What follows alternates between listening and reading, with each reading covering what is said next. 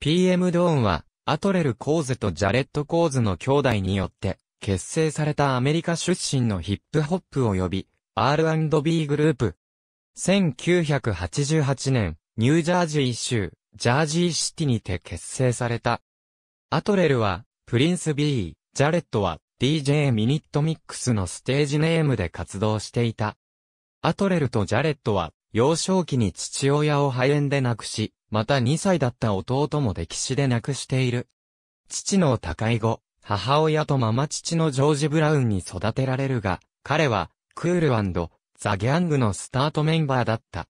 中学3年の時にアトレルは、DJ パーティーを開き、作曲を手掛け始める。彼はその曲を使い、デモテープを作る決心をし、ホームレス施設で警備員のアルバイトをして貯めた600ドルを費やした。その頃までには PM ドーンとしてスタジオを借りる申請をしている。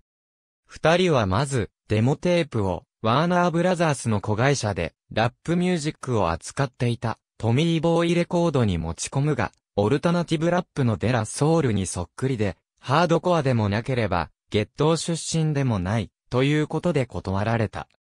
結局は、インディーズのウォーロックから、デビューシングルの、オード2、A Forgetful Mind を1989年にリリースしたが、注目されずに終わった。イギリスではそのシングルを GE、ストリートレコードがリリースし、より大きな成功を収めた。G ストリートはそのシングル曲をミックスして売り込んだため、音楽評論家からとても注目をされるようになり、PM ドーンは G ストリートの社長ジョン・ベーカーからだけでなく、イギリスの主要レーベルからの支持を得られるようになった。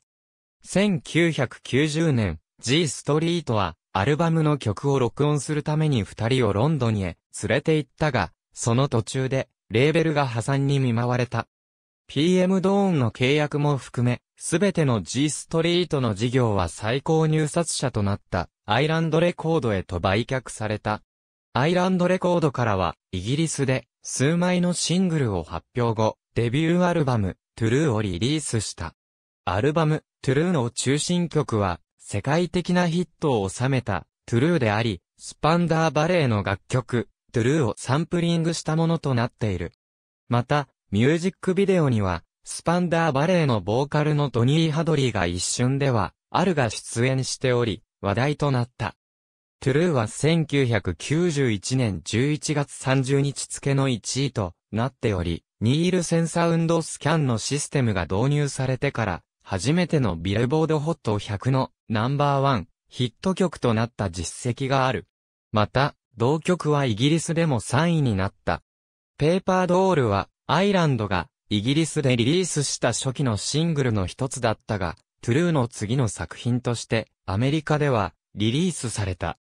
1992年の前半の28位が最高となっている。ペーパードールというタイトルが優に100回以上歌われており、アメリカのトップ40ヒットという番組では、最もタイトルを繰り返し歌っている MC ハマーのプレイに次ぐ記録となっている。デビューアルバムの成功を引っ提げて、PM ドーンはワールドツアーを開始した。だが、このツアーの間にしたディテール誌でのプリンス B の発言で、ブギダウンプロダクションズの KRS-1 と彼の仲間が、コンサート中に、ステージに怒鳴り込み、二人を、ステージから追いやって、自らの持ち歌を3曲披露するという事件が起きた。KRS-1 が、このような行動をとった原因となったプリンス B の発言は、KRS-1 は、教師みたいになりたがってるけど、何を教えてくれる教師になるんだろうというものだった。KRS-1 が自らの行動の動機を弁護するために USA トゥデ紙のジェームズ・ T・ ジョーンズに語ったことには、俺は彼の何を教えてくれる教師になるんだろうという質問に答えたんだ。尊敬を教える教師だってね。